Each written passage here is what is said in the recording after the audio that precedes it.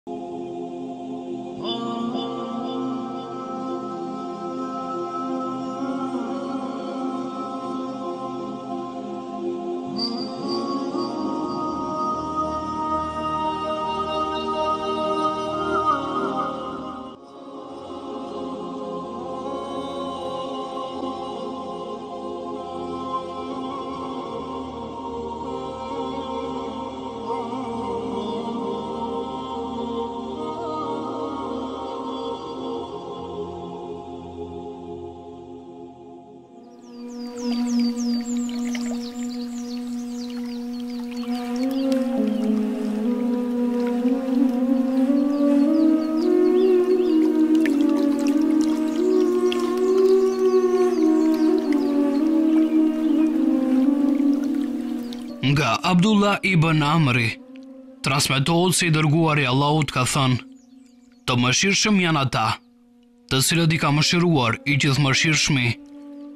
Mëshironi ata që janë në tokë, që t'ju mëshirojë Ai që është në qiell. Lidhja farefisnore është një litar nga i Gjithëmëshirshmi. Kush e ruan lidhjen farefisnore, edhe Allahu i ruan raportet me të.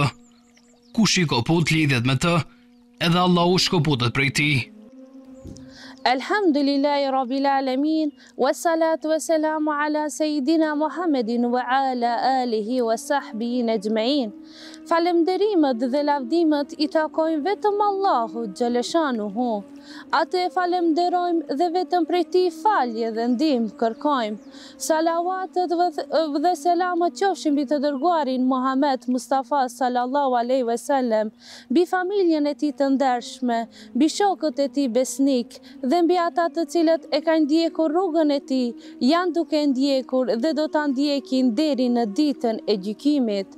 Të nderuar vëllezër dhe motra, Fillimisht ju përshëndes me përshëndetjen më të ngrohtë islame, Esselamu Alejkum we Rahmetullahi we Berekatuhu, Paqja, mëshira dhe begatitë e Allahut Xheleshanuhu qofshin mbi të gjithë ne. Temën të cilën e kam pregaditur për të prezantuar para jush është Lidhjet farefisnore. Dihet mirë që kohëve të fundit njerëzit për shkak të angazhimeve të shumta apo arsyeve të tjera kanë lanë anësh vizitat farefisnore, disat i kanë rralluar e disat për fat të keq edhe i kanë shkëputur këto lidhje. Allahu xheleshanuhu ka premtuar shpërblim për ata të cilët i mbajnë lidhjet farefisnore dhe ka dhënë dënim për ata të cilët i shkëpusin këto lidhje. Transmetohet se pejgamberi sallallahu alejhi ve sellem ka thënë, Të mëshirshëm janë ata të cilët i ka mëshiruar Allahu xheleshanuhu, mëshironi ata të cilët janë në tokë që t'ju mëshirojë Ai i cili është në qiell. Lidhja farefisnore është një litar i fortë që na mban të lidhur me Allahun xheleshanuhu. Kush i mban lidhjet farefisnore, Allahu xheleshanuhu i mban lidhjet me të, e kush i shkëput lidhjet farefisnore, Allahu xheleshanuhu i shkëput lidhjet me të. Kemi dy grada të sjelljes në farefis. Grada e parë dhe më e lartë është ajo e cila kur shejtani të na largon nga njëri tjetri, ne duhet të afrohemi me njëri tjetri. Kur ndonjëri na bën keq, ne duhet të bëjmë mirë.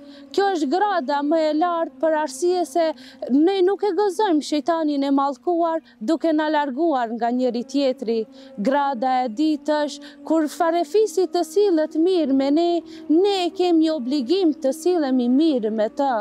Nëse ne i zbatojmë këto dy grada, atëherë ne jemi me moral më të lartë, sepse vetë Pejgamberi, sallallahu alejhi ve selem, ka thënë, Moralin më të vlefshëm e kajnë ata njerëzit të cilët i mbajnë lidhjet me farefisin me ata që nuk dojnë t'i mbajnë këto lidhje dhe e falin dikënd që ju ka bërë zullum.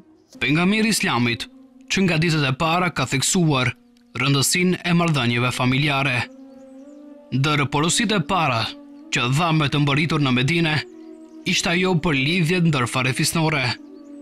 Abdullah ibn Selami Një nga dijetarët hebrenj, që u nderua me kalimin në Islam, rrëfen, Kur i Dërguari erdhi në Medine, populli doli në rrugë që ta priste. Meqë filluan të dëgjohen klithmat, erdhi i Dërguari i Allahut. Thashë dale të shoh se ç'po ndodh dhe u futa në mesin e popullit. Kur e pashë fytyrën e tij, kuptova se s'ishte fytyrë gënjeshtari. Urdhëri i parë që dëgjova prej tij ishte ky, O njerëz, jepni selam, ushqeni njerëzit, ruani lidhjet familjare, falni namaz, kur njerëzit bëjnë gjumë dhe hyni në xhenet në paqe. E dimë se Muhamedi sal-Allahu alejhi ue selem, deri në vdekje, i ka ruajtur raportet e ngrohta me xhaxhanë e vet Ebu Talibin, megjithëse ai s'ishte musliman. Marrëdhëniet ndërfarefisnore, përveç dashurisë, respektit dhe vizitave, kërkojnë edhe solidaritetin në të gjitha fushat e jetës shoqërore. Ky solidaritet ka elementet e konotacionit juridik si shpagimet, trashëgimia, por dhe përmasat etike. Pejgamberi alejhi selam ka lindur jetim dhe ai i dha shumë rëndësi familjes. Ai lindi jetim dhe babain e kishte të vdekur. Ai aq shumë ka qenë i përkushtuar dhe e ka respektuar xhaxhain e tij saqë kur e pyetën, O i dërguari i Zotit, si i ke lidhjet ti me xhaxhain tënd? Ai qeshi dhe tha, Unë dhe xhaxhai im jemi të afërt si dy degët e drurit të hurmës. Kur Allahu xheleshanuhu përfundon krijimin e një njeriut në mitrën e nënës, Ai i thotë, O njeri çfarë dëshiron? Njeriu i përgjigjet, O Zoti im, unë dua të më mbrojsh nga ata të cilët i shkëpusin lidhjet me mua në dunja.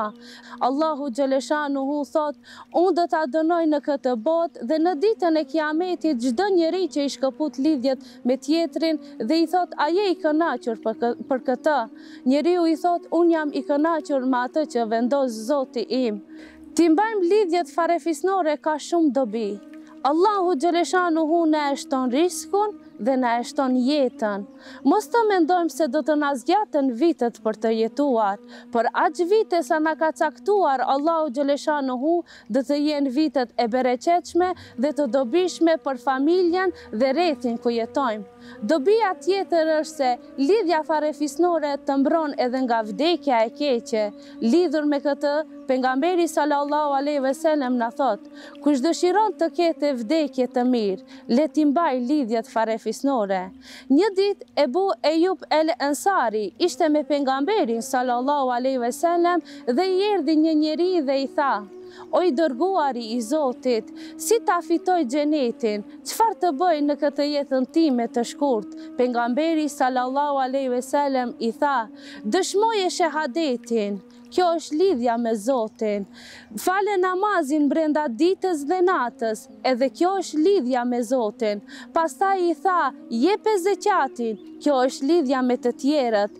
Dhe pastaj i tha, Mos i shkëput lidhjet farefisnore, edhe kjo është lidhja me të tjerët. Ne duhet të nxjerrim mësim nga kjo dhe të kuptojmë se Xhenetin nuk e fitojmë vetëm nëse jemi të lidhur me Allahun xheleshanuhu, po edhe nëse i mbajmë lidhjet me njëri-tjetrin, atëherë pa dyshim se Allahu xheleshanuhu do t'i mbajë lidhjet me ne.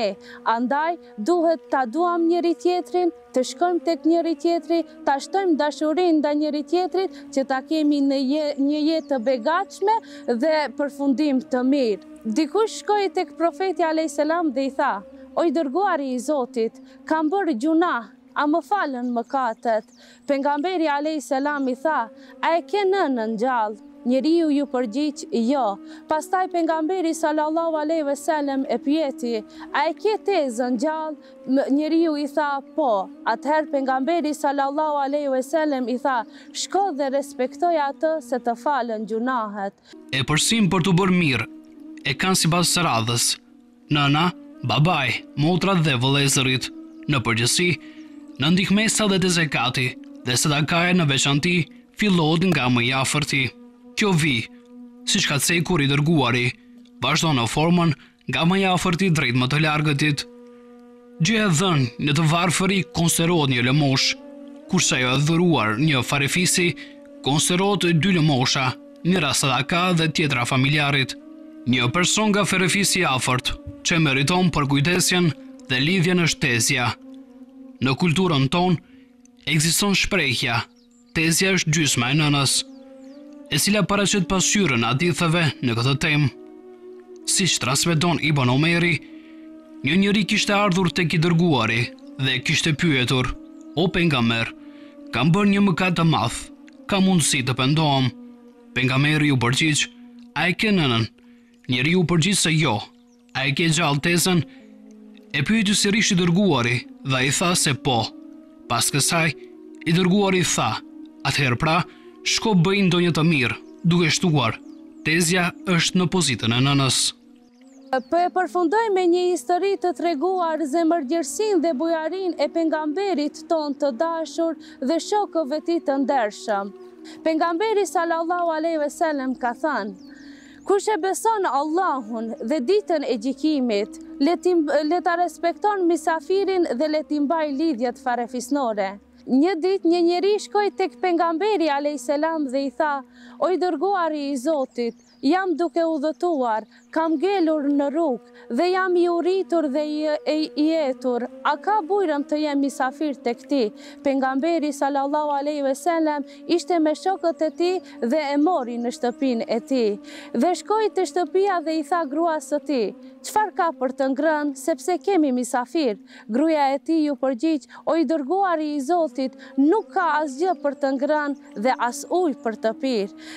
Pejgamberi sallallahu alejhi ve sellem doli dhe ju tha shokëve të tij, a e pranon dikush këtë mysafir? Njëri, pa menduar fare, tha, o i dërguari i Zotit, unë do ta marr këtë mysafir, vetëm sa të shkoj deri tek shtëpia ime dhe do të kthehem për ta marrë. Ai shkoi në shtëpinë e tij dhe i tha gruas së tij, Përgatite darkën për shkak se do të kemi misafir. Gruaja e tij i tha, Nuk kemi asgjë për të ngrënë. Veç pak ushqim që ua kam lënë fëmijëve.